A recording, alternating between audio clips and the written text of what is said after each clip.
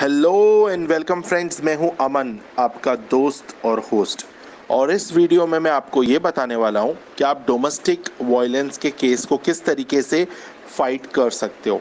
Friends मैं आप लोग को ये बताना चाहूँगा कि ये जो वीडियो मैंने बनाया है, ये लड़के के प्रोस्पेक्टिव से बनाया है. किसी भी लड़की को इंसल्ट करना मेरा मकसद नहीं है. हर किसी के लिए मेरी हमदर्दी और मैं ये चाहूँगा कि अगर आपका टूटा हुआ रिश्ता है तो वो बन जाए।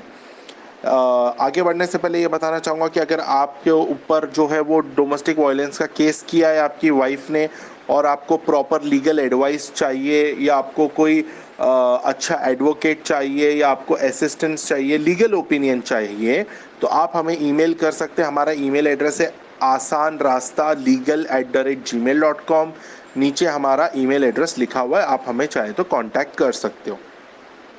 आगे बढ़ते हुए, अगर आपके ऊपर डोमेस्टिक वायलेंस का केस फ़ाइल हुआ है तो आप ये समझ लीजिए कि आपको अभी क्या क्या होने वाला है आपके साथ। सबसे पहले जो ये होगा कि आपकी वाइफ ने आपके खिलाफ एक कंप्लेंट सबमिट की है कोर्ट में, ठीक है?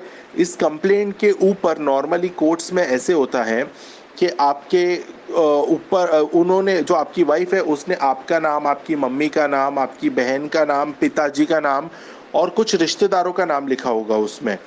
जैसे वो कंप्लेंट फ़ाइल करती है, वैसे ही उस कंप्लेंट के ऊपर समन इशू हो जाता है। ये जो समन है, उसका मतलब क्या होता है? समन एक नोटिस होता है कि आपको कोर्ट में आके इसका जवाब देना है। ठीक है? तो अगर वो वो जो समन आएगा, आपको वो नॉर्मली पोस्ट से आएगा क्योंकि वो प्रोटेक्शन ऑफिसर के पास में आपकी वाइफ को देना पड़ेगा, फिर वो प्रोटेक्शन ऑफिसर आपको स्पीड पोस्ट से भेजेगी या हो सकता है प्रोटेक्शन ऑफिसर आपके घर पे भी आए और वो आपको दे।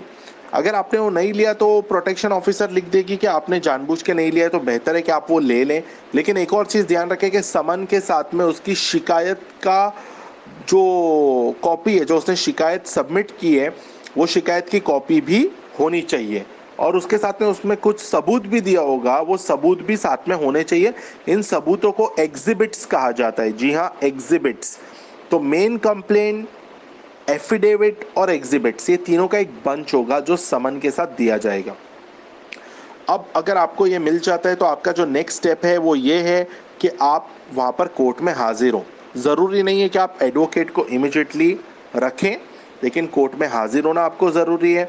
हाजिर होने के बाद जो जो इल्ज़ाम लगाए गए हैं, आपकी वाइफ ने जो इल्ज़ाम लगाई है आप पे डोमेस्टिक वायलेंस के, उस इल्ज़ाम का जवाब आपको देना है। मतलब उन्होंने जो कंप्लेंट दी है, उस कंप्लेंट के अंदर जो जो चीज़ें लिखी गई है, उसको आपको जवाब देना है। अगर आपको जवाब बनाने नहीं आ रहा उसका रिप्लाई बनाने नहीं आ रहा तो कोई चिंता की बात नहीं है। आपको आपको जो है वो कॉपी जो है आपको मिली है, वो आप हमको ईमेल करके या स्कैन करके या फ़ोटो से फ़ोटो से क्लिक करके भेज सकते हैं। हम आपको उसका रिप्लाई बना के देंगे। हमारा ईमेल एड्रेस नीचे दिया हुआ है, आसान रास्ता legal at the rate G mail dot com. तो वो रिप्लाई देने के बाद में जो नेक्स्ट स्टेप है, वो ये होगा कि इस कंप्लेंट के साथ में आपकी वाइफ ने दिया होगा एक इंटरिम एप्लीकेशन ये इंटरिम एप्लीकेशन जो है वो किस चीज़ के लिए होता है? कि जब तक ये डोमेस्टिक वायलेंस का केस चल रहा है, तब तक आपकी वाइफ को मेंटेनेंस मिले मतलब एक रकम। और वो बड़ा चढ़ा के लिखेगी कि उसे पचास हज़ार चाहिए, पच्चीस हज़ार चाहिए, दो लाख चाहिए, वगैरह वगैरह। चिंता करने की ज़रूरत नहीं है। आप जो रिप्लाई देंगे, उस रिप्लाई के साथ उस इंटरिम एप्लीकेशन के ऊपर भी आपको रिप्लाई देना है। उसके बाद में दो, अब वो सबमिट होने के बाद आर्ग्यूमेंट्स होंगे आर्ग्यूमेंट्स में डिसाइड होगा कि आपको कितना मेंटेनेंस देना है या नहीं। अगेन आपको चिंता करने की ज़रूरत नहीं, अगर ज़्यादा मेंटेनेंस हो गया तो अगर अप्रूव हो गया आपकी वाइफ के फेवर में तो क्योंकि आप जो है वो अपील भी कर सकते हो। तो फ्रेंड्स आप मुझे उम्मीद है कि आपको ये बेसिक इन्फॉर्मेशन पता चली होगी डोमेस्टिक वायलेंस केस के बारे में। अगर आप अच्छा वकील ढूंढ रहे हो, या आपको एडवाइस लेना है, या आप चाहते हो कि आप रिप्लाई बनाओ, या लीगल ओपिनियन लेना है तो आप हमारे ईमेल पे हमें भेज सकते हो, आसान लीगल रास, आसान रास्ता legal at the rate G mail dot com जी हाँ नीचे लिखा हुआ है ईमेल एड्रेस आप उस पर हमें ईमेल कर सकते हो, और हम आपकी मदद करेंगे।